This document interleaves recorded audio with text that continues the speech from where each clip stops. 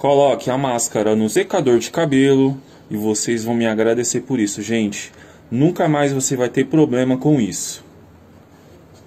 Certo, gente? Aqui a gente tem uma máscara, temos o secador e agora a gente vai precisar de uma garrafa, gente. Isso mesmo, garrafa que você tem em casa, que você usa para reciclar e não vai e, e geralmente você joga fora. Não jogue mais fora a sua garrafa, que a gente vai fazer essa dica muito boa e muito simples também. Então, aqui para a gente começar, vamos cortar a garrafa nessa parte aqui, ó, tá bom?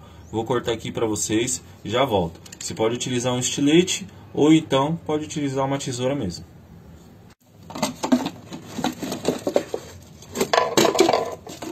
Ok, vou retirar essa rebarba aqui, tá bom?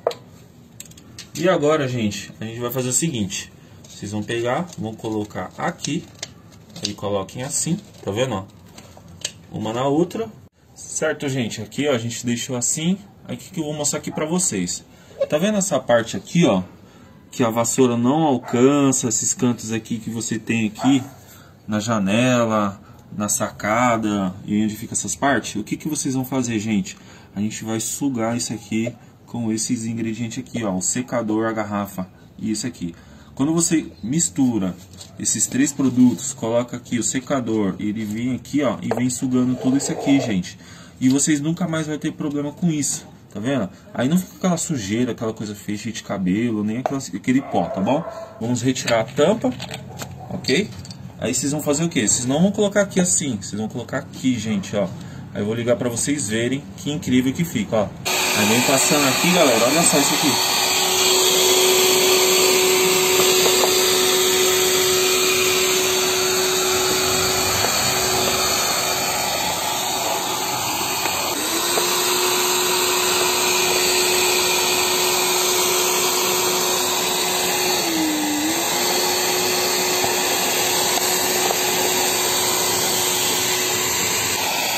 Olha só, gente.